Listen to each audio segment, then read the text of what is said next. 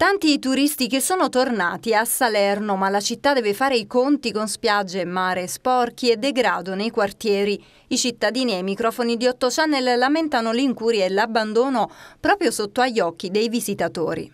La città è molto sporca, non se ne può proprio più. Ci sono le, come si chiamano, quelle blatte che volano dappertutto non possiamo aprire una finestra che le troviamo attaccate alle tende, ma proprio le strade che sono sporche, è inutile che passa quel camion la mattina, ci sono queste scale qua sopra che salgono i turisti per andare al Duomo e al museo, è una cosa proprio vergognosa, è inutile che poi fanno le passerelle elettorali.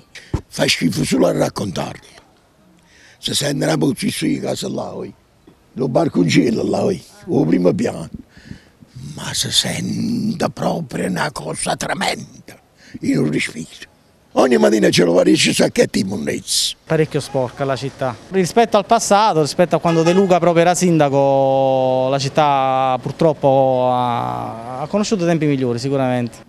È molto sporca, no? i spazi non ne vediamo noi, ma non, non, vedo proprio pulizia.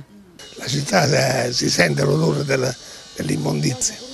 C'è chi parla poi di come Salerno viva proprio anni di decadenza. Mancano tutti i servizi, su un trentennio che è in decadenza. Che è questione di civiltà. Quando c'è il regresso c'è inciviltà, aumentano tutti i fattori.